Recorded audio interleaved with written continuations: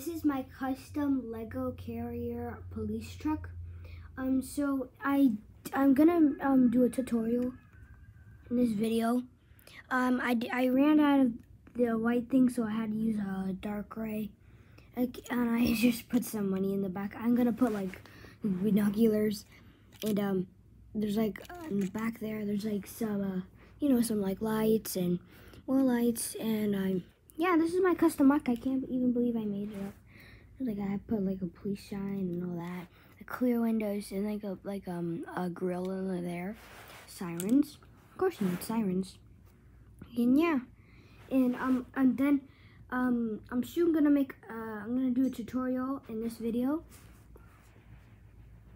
Oh yeah, so I thought it would look cool if I did short ones for the back and long ones for the front. Hope you like it. Pretty cool. Blue window. And yeah, let's get to the tutorial.